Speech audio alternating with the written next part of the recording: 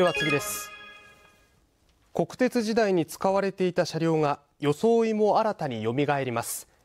倉敷市の水島臨海鉄道で所有する全国でも珍しい国鉄時代の車両を当時の姿に復活させるプロジェクトが進められています。鮮やかな赤に塗られていく車両。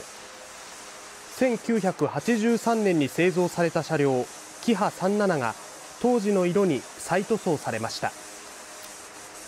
これは倉敷市の水島臨海鉄道が所有する国鉄時代の3つの車両を当時の姿によみがえらせようというプロジェクトで塗装や整備のための費用を今年8月からクラウドファンディングで募っていました。今年10月までにおよそ2400万円が集まり先月から1つ目の車両の塗装作業が始まっていました。コロナ禍による減収で古い車両に新たな投資ができない中鉄道ファンや地元住民らの支援によりプロジェクトが実現しました。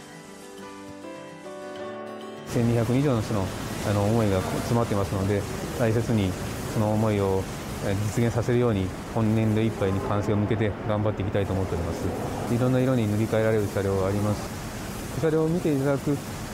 知っていただくということであの水島臨海鉄道の方に乗りに来ていただけて倉敷全体を盛り上げていきたいなと思っております。当時の姿を取り戻したキハ37は明日お披露目され運行が始まります。水島臨海鉄道では今後